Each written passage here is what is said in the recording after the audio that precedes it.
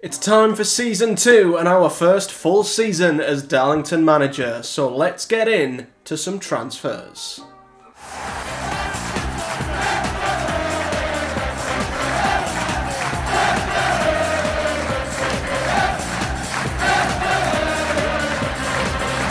What is up, guys? Matthew here. Welcome back to another episode of our FM24 Road to Glory career mode with Darlington. A big thank you for everyone who has checked out and put time in to view season one, of course, which is now in the can, in the book, signed and sealed. And we're here today ready to get season two underway. And this, of course, is a huge jumping on point for anyone who is new. So, yeah, if you do want to go back and check out any of the episodes thus far, there is a playlist on the channel.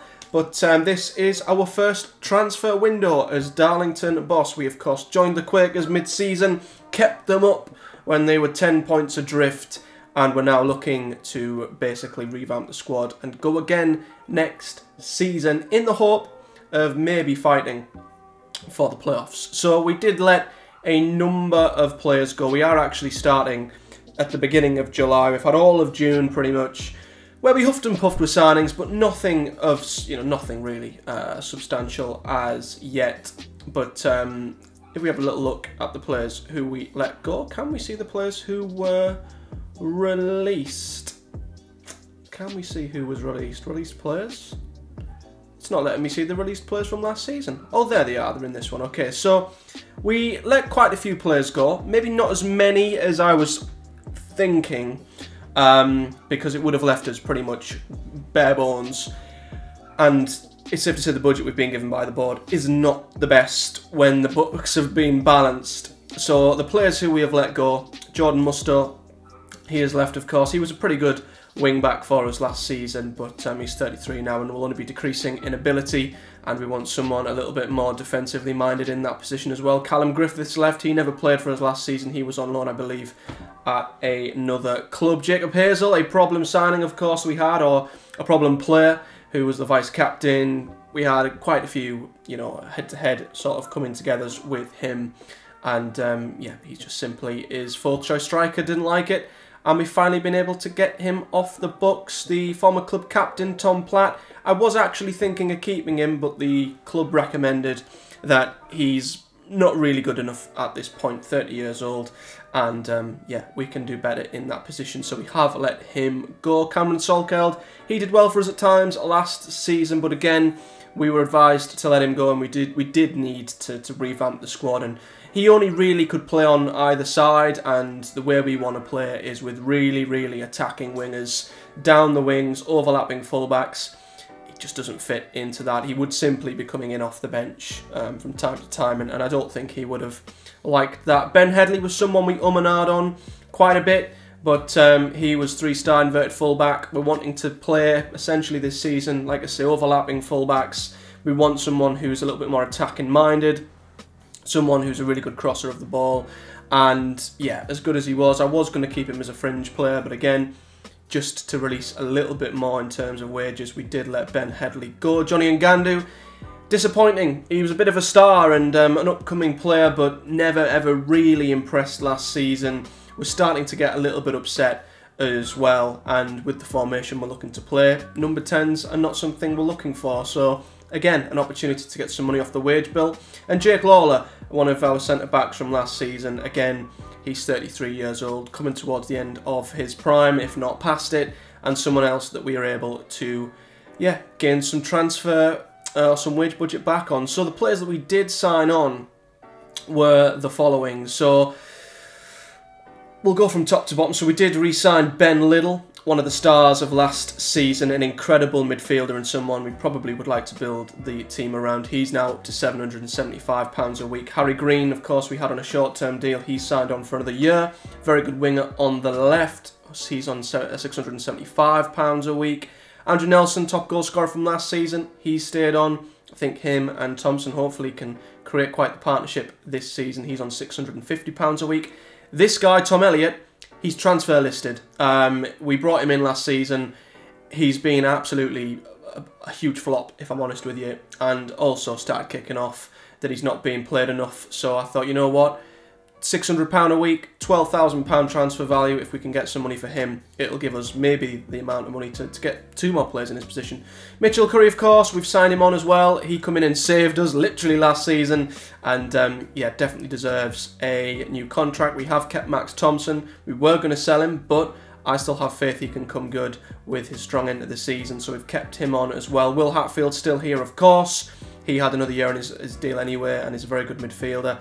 Um, Tommy Taylor, we've got on a month-to-month basis at the moment. I didn't sign him on as such, but um, I do want to improve in that goalkeeping position, so that's one that's up in the air. Jarrett Rivers signed on as well. He's the under 18s manager, in fairness, but did a very good job on the wings last season. Toby Lee signed on as well. I thought I have to keep some of our defenders, so we have kept him in there as well as Jasim Sukar, but we are definitely wanting to get ourselves another centre back. And then we've got the three youngsters who, of course, come through our uh, youth intake last season. So, yeah, it's it's a light squad now. You know, looking at this, Connor Douglas has went back to Leeds as well. So, yeah, we're wanting to improve goalkeeper. We're wanting fullbacks and I'd say an improved central defensive or uh, central defender. In the midfield, I like what we've got here with Harvey, Liddle, Hatfield in there as well, but maybe one more body I think would do us good. And then up in the attacking areas, I don't think we're that bad. I think Thompson, Nelson and Curry are three strikers who should get us enough goals. Green, that's his position on the left, and to be fair, Jarrett Rivers will probably do a job on the right, but we do need depth there, despite the incredible talent that we've got through our youth intake. So I dare say four or five signings, maybe six signings, I think will give us the depth we need. But um, the issue we've got is the transfer budget that we gained back. I guess kind of balanced out with the money we then put into to extending some of the contracts. So the wage budget that we were given of 8,844, we're already spending a lot of that already. So yeah, it's um it's going to be tough to, to stay within the wage budget and have a squad that is just as competitive and can take a step forward. So we might need some help from the board. We might be working on a really shoestring budget, but um, we're going to go through July now, see who we can bring in, and um, yeah, fingers crossed we can build a good squad with what we've got. And uh, yeah, it can take us places this season, but it's certainly not going to be an easy window.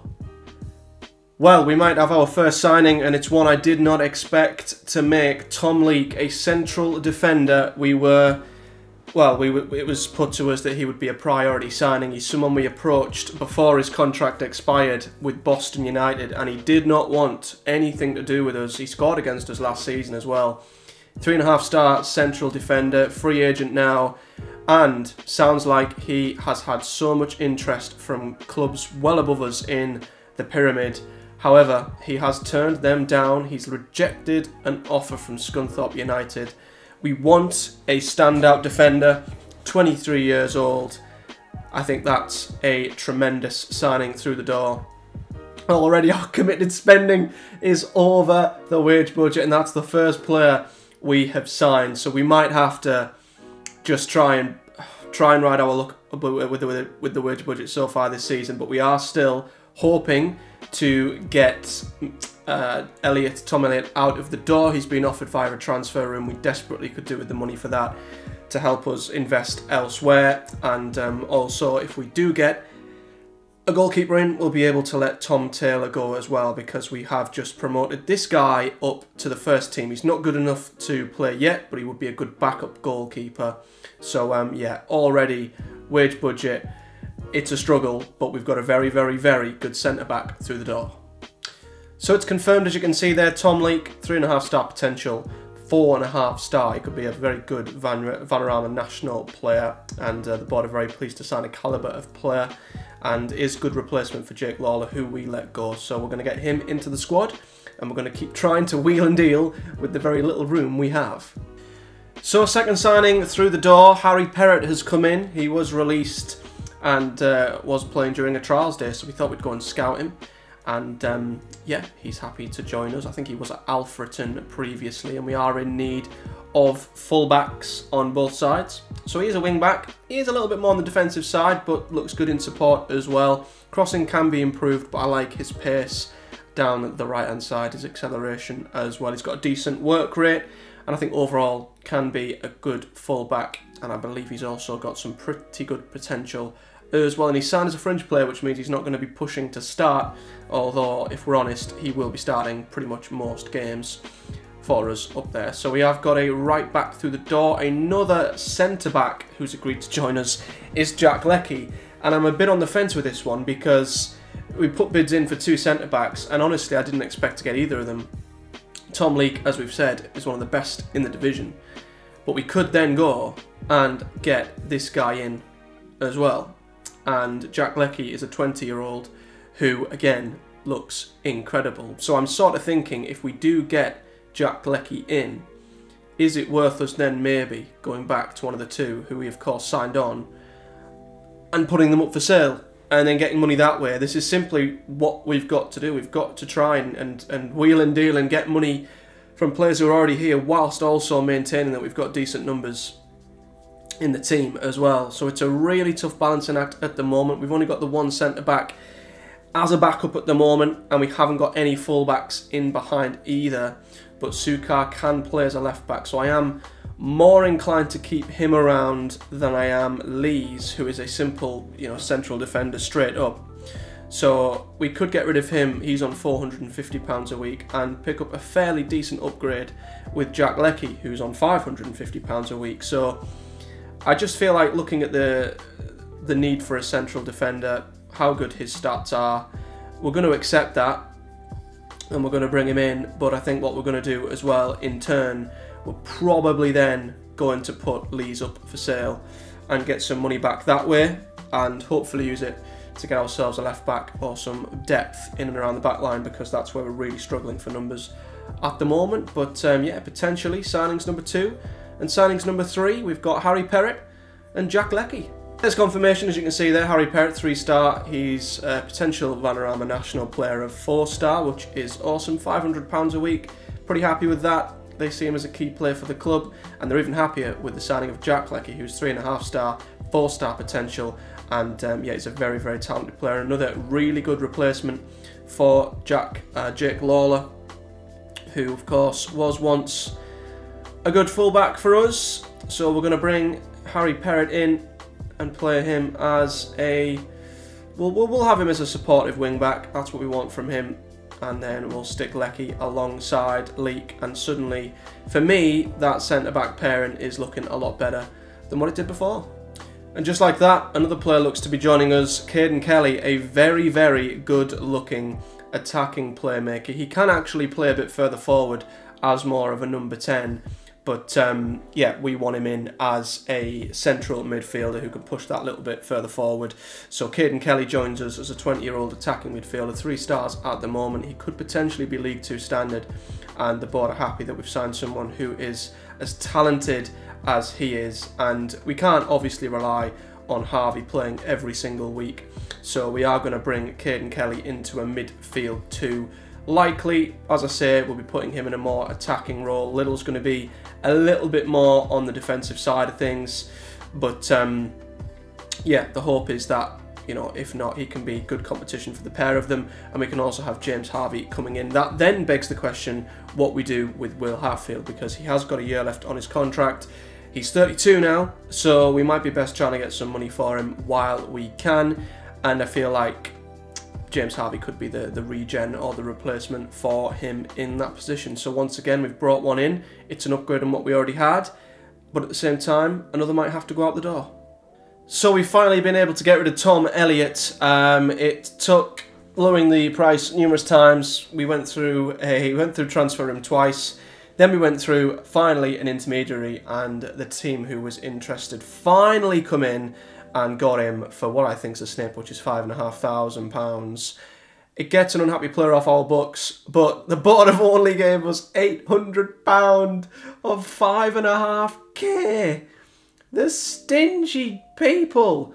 So we're still, even though we've got him off the books, I mean the eight hundred pounds not being added to the transfer budget as yet, but it's not going to make much difference, as we are currently hundred pound over our wage budget, still trying to work things out. I think we can probably let Lees go as well, and hopefully we'll get some wage budget. Obviously, the £600 Tom Elliott was getting paid will be knocked off as well.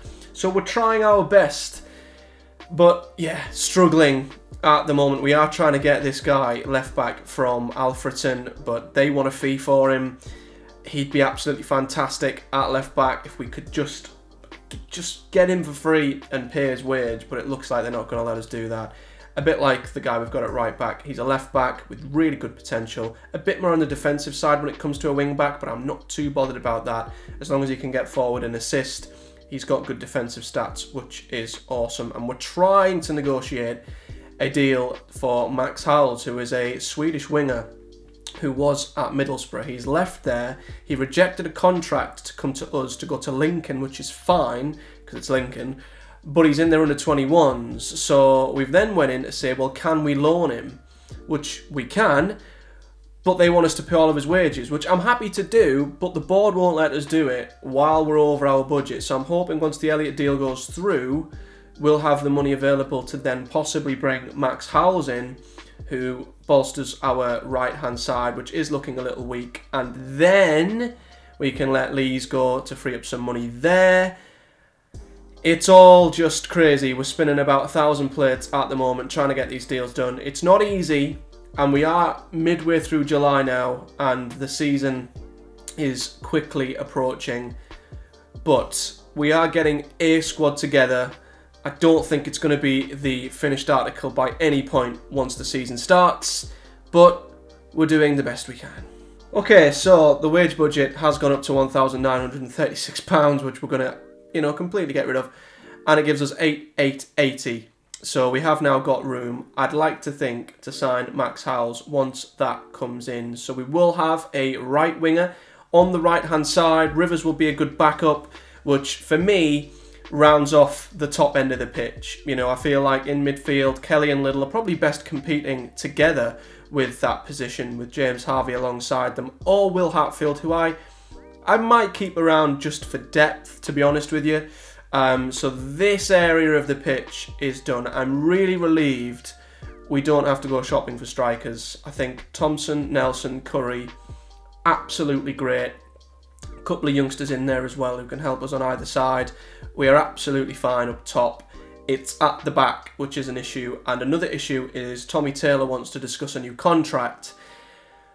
Because, as I say, he's on a month to month deal at the moment, and none of the goalkeepers that I'm scouting are any good. And the really good ones don't want to come. So, as much as I'm desperate to go out there looking for a brand new goalkeeper, Tommy Taylor, 31, we might get another year out of him it might be something we have to do and someone we have to keep just for the time being. But to be fair, I don't know if he was the problem last season. It might have been, I think it was more individual errors, individual mistakes. With a better centre back pairing in front of him, I think we can have faith in Tommy Taylor. So I might offer him a new deal, and then that rounds off the goalkeeping position.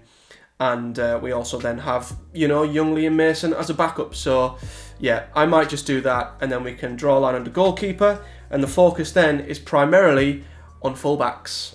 So annoyingly, we've held off and held off and held off and held off to get the wage budget available to sign Max Howells and just as we've got the money available, they've basically turned around and said that they don't want to even bother loaning him to us and uh, they were willing to let us take all of his wage, £300 a week. They're not going to let us do that anymore, which is really, really infuriating. And I don't think we're going to be able to do anything else with Max Howells. So there is a really, really good 19 year old winger sat right there who we have just missed out on because we couldn't get rid of Tom Elliott.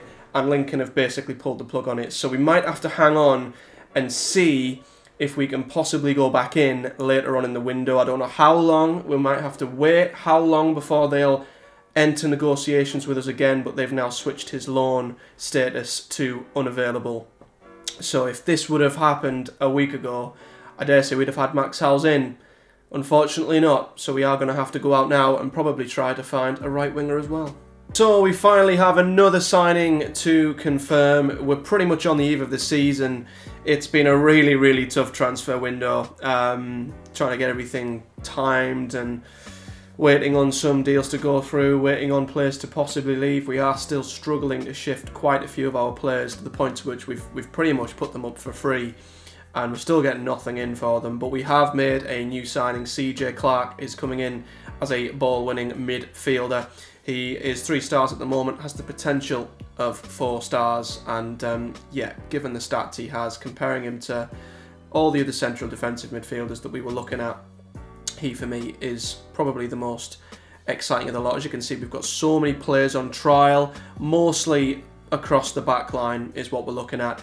But um, yeah, we're hoping that, that a couple of them, who are looking promising to be fair at the moment, will come good. And there's a few that we've put a few offers out there for to see if they want to join us. And as you can see, we have had a couple of possible deals in the pipeline. We had a loan deal there for a ball winning midfielder from South Shields, which we don't need now because we've got one permanently.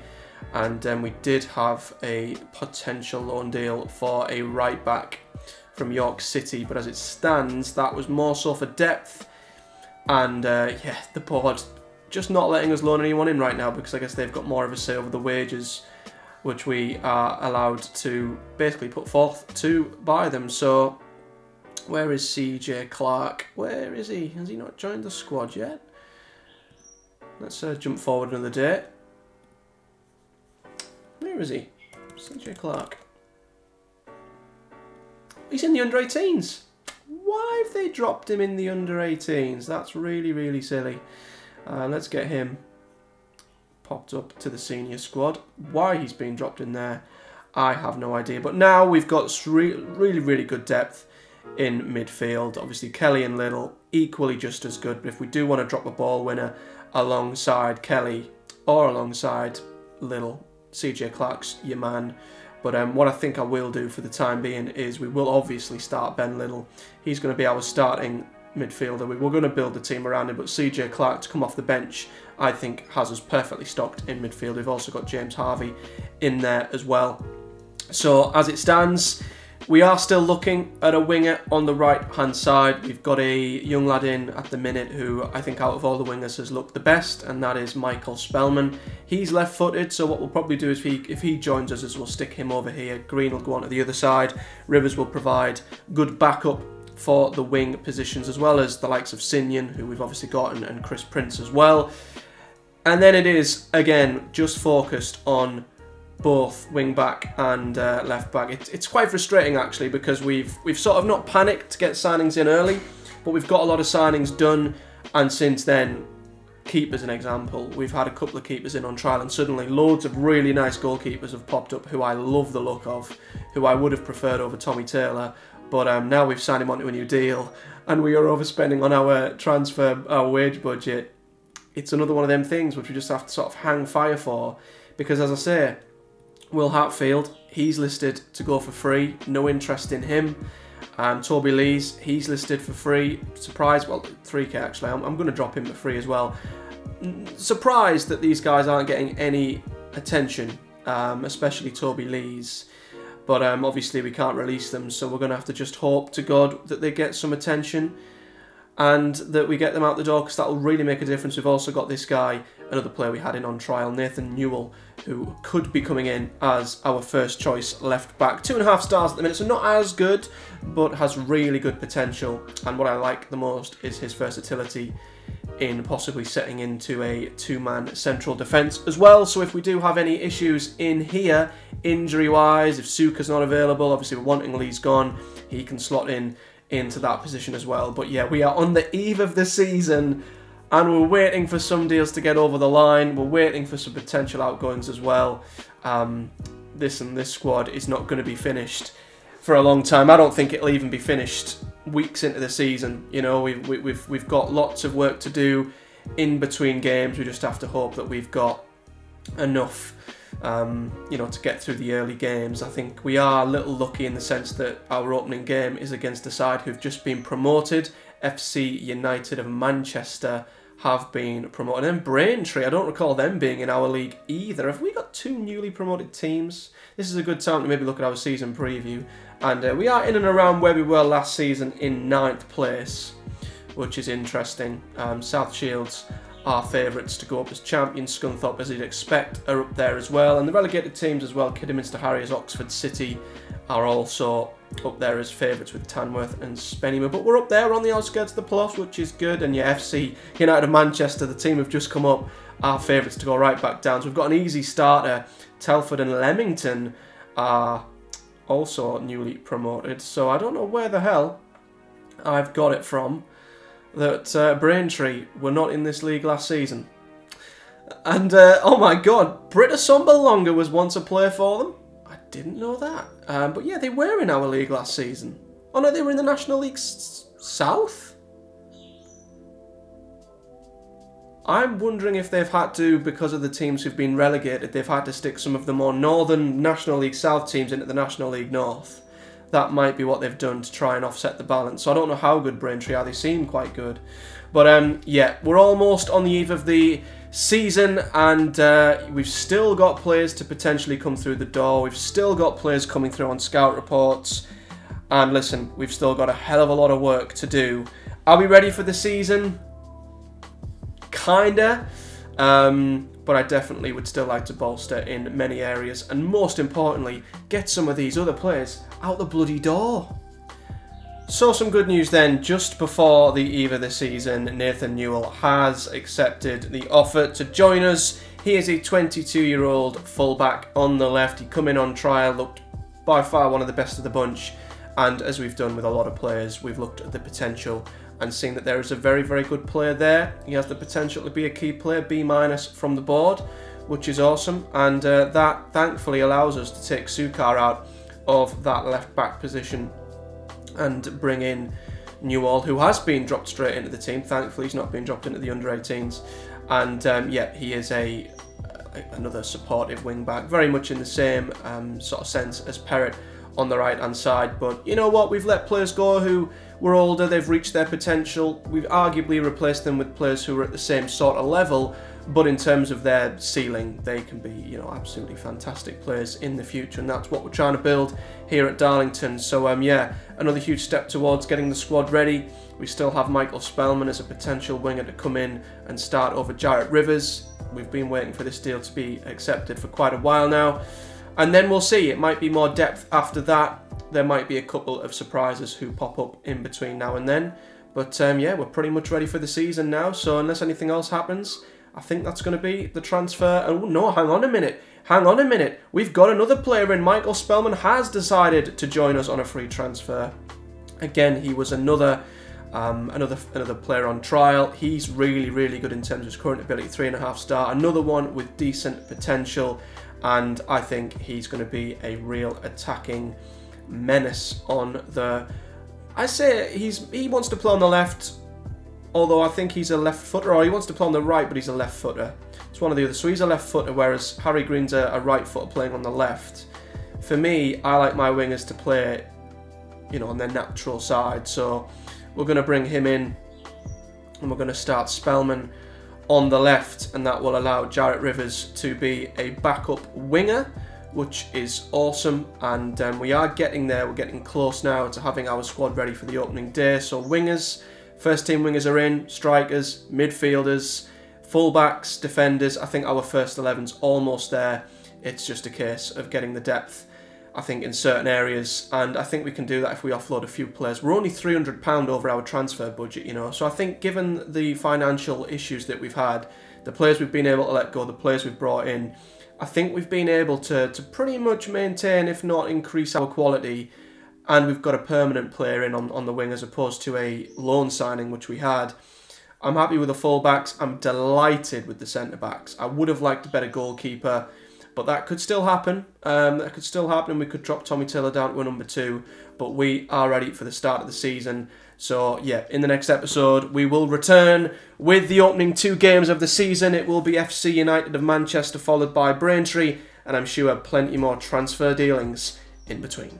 So guys, if you've enjoyed this transfer special, do hit the like button and subscribe for much more as Season 2 is about to start tomorrow with the first games of the season where we're hoping to kick on from the relegation threatened season we had last season to hopefully one where we can be fighting up towards the playoffs, which would be awesome. If you've got any more suggestions on players, wonder kids or tips and tricks to get the best players in at this level, let me know in the comment section below. But until next time guys, a big thank you for watching. Do take care and hopefully I'll see you all tomorrow.